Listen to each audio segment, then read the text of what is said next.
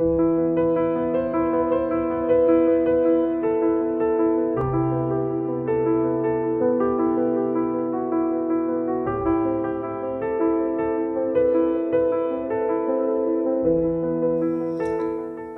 amici di Una parola al giorno, continuiamo la lettura del nostro dodicesimo capitolo, quello che ci accompagna in questa settimana.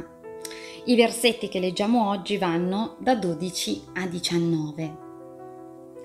Il giorno seguente, la grande folla che era venuta per la festa, udito che Gesù veniva a Gerusalemme, prese dei rami di palme e uscì incontro a lui gridando, Osanna, benedetto colui che viene nel nome del Signore, il Re di Israele. Gesù, trovato un asinello, vi montò sopra come sta scritto, Non temere, figlia di Sion. Ecco, il tuo Re viene, seduto su un puledro d'asina. I suoi discepoli sul momento non compresero queste cose, ma quando Gesù fu glorificato, si ricordarono che di lui erano state scritte queste cose e che a lui esse le avevano fatte. Intanto la folla, che era stata con lui quando chiamò Lazzaro fuori dal sepolcro e lo risuscitò dai morti, gli dava testimonianza. Anche per questo la folla gli era andata incontro, perché aveva udito che gli aveva compiuto questo segno. I farisei allora dissero tra loro, vedete che non ottenete nulla? Ecco, il mondo è andato dietro a lui. Il testo che abbiamo letto oggi è bellissimo perché entriamo nella settimana santa proprio attraverso quello che è poi diventato eh, il gesto liturgico della Domenica delle Palme. La parola che ho deciso di lasciarvi per oggi è proprio palme, perché sono il segno concreto di questo gesto di accoglienza che Gerusalemme fa nei confronti di Gesù. E badate bene, la eh, comunità giovannea ci fa capire chiaramente che soltanto dopo hanno capito fino in fondo quello che hanno fatto con Gesù. Tant'è vero che attribuiscono poi a lui la profezia di Zaccaria, quella non temere figlia di Sion, ecco il tuo re viene seduto su un puledro d'asina. Cioè l'evento della Pasqua e la vita della comunità consente di rileggere l'esperienza che hanno fatto storicamente con Gesù e di trovarne le radici profonde nella scrittura. In questo caso è la profezia di Zaccaria, nel caso invece dell'Osanna è la citazione di un salmo. Ma quello lo capiamo di più perché? Perché il salmo è la preghiera, è la lode di Israele. Quindi è chiaro che la folla di Gerusalemme quando salutava, lo salutava con le parole che conosceva e le sceglie appunto da un salmo che inneggia proprio eh, la benedizione, benedetto colui che viene nel nome del Signore, il Re di Israele. Tenete bene a mente quanto poi diventeranno significative anche nella nostra liturgia le parole che vengono dette qua, che vengono riportate in questo gesto di accoglienza appunto eh, di, nei confronti di Gesù. Quindi la scena è ben conosciuta e le palme oggi ci eh, accompagnano intanto che seguiamo che cosa sta accadendo. Se ci fate caso, il segno del cieco ha condotto a Lazzaro il segno di Lazzaro ci conduce dentro Gerusalemme.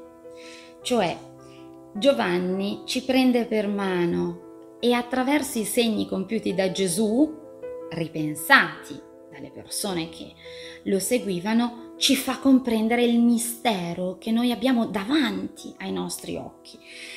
Mi piace farvi fare subito la riflessione finale, perché noi per bocca dei farisei abbiamo quella che sarebbe la valutazione se ci fermassimo nella, nell'evento storico di Gesù alla Domenica delle Palme, cioè vedete che non ottenete nulla, il mondo è andato dietro lui. Tenete presente che questo termine tecnico andare dietro, andare dietro a qualcuno, andare dietro a lui, noi lo conosciamo perché nei Vangeli anche nella tradizione sinottica lo eh, leggiamo, venite qui dietro di me, eh, è la sequela del discepolo.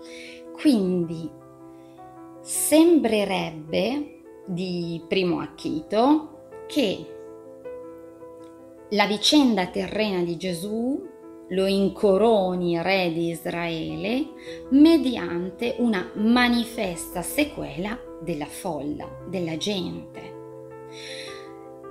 Mi verrebbe da dire, sembrerebbe un grande successo, un grande successo di popolo.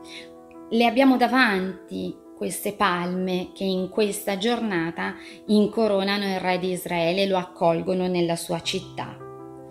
Ma non dimentichiamo, e per Giovanni è chiarissimo, che quella folla crede perché c'è stato il segno di Lazzaro, cioè la folla che era stata con lui quando chiamò Lazzaro fuori dal sepolcro.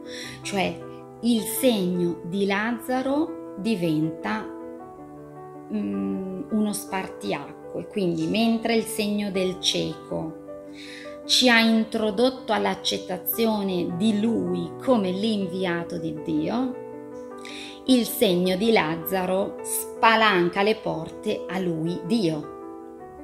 Manifesta pienamente che Lui e il Padre sono una cosa sola e questo è l'elemento che sarà la goccia definitiva che fa traboccare il vaso. Allora, intanto che oggi teniamo ben presente queste palme che sono festanti nell'accoglienza di un Gesù mite, umile, pacifico, questa è la profezia che viene riportata um, in questo testo, eh, facciamoci accompagnare da un versetto che noi troviamo in questa sezione e che ci aiuta tantissimo. La domanda eh, dalla quale parto per fare questa ulteriore riflessione è la seguente. Come mai? Chi ha visto con i propri occhi, chi è stato disposto ad accogliere Gesù come il Re di Israele, eh, poi fa così tanta fatica a credere noi capiamo la difficoltà della fede, la difficoltà del riporre le nostre certezze in colui che è la luce del mondo da questo versetto che ora vi sottolineo. I suoi discepoli, non qualcuno a caso, i suoi discepoli, quindi quelli che sono stati sempre con lui, sul momento non compresero queste cose. La fede ha bisogno di tempo, di ripensamento. Anche se hai davanti l'evidenza, prenditi il tempo per pensarla, rifletterla, masticarla nuovamente e noi ne abbiamo una fortuna incredibile perché la parola di Dio è a nostra portata tutti i giorni. Ma quando Gesù fu glorificato, si ricordarono che di lui erano state scritte queste cose e che a lui esse le avevano fatte. Allora avremo poi bisogno di entrare nella logica dei discorsi di addio del Vangelo di Giovanni per capire che c'è bisogno dell'intervento di qualcuno che ricordi le parole e ricordi tutto e questo qualcuno sarà lo Spirito, che nel Vangelo di Giovanni, lo Spirito Santo, così come noi lo conosciamo, è lo Spirito di verità e ha un compito, quello di ricordare, ma non ricordare soltanto perché la mente torna a un ricordo lontano del tempo, no, perché ne hai una comprensione più piena. Allora oggi cerchiamo di avere davanti ai nostri occhi queste palme che dicono la regalità di Gesù e di fermarci per noi, per la nostra vita, a dire quante volte abbiamo avuto bisogno di ripensare a un'esperienza che abbiamo fatto, un confronto, un'esperienza positiva oppure negativa, questo non importa, ma noi rivediamo davanti a noi quelle scene come quelle palme che i suoi discepoli avevano davanti agli occhi come esperienza vissuta, ma che solo dopo, con la pazienza e l'aiuto dello Spirito, hanno saputo coglierne tutto il valore. E allora siamo pronti con il profumo del nardo che ieri Maria ha sparso in tutti noi e con nelle, davanti a noi le palme della, del riconoscimento di Gesù come Re di Israele, siamo pronti ad entrare anche noi dietro di lui a Gerusalemme.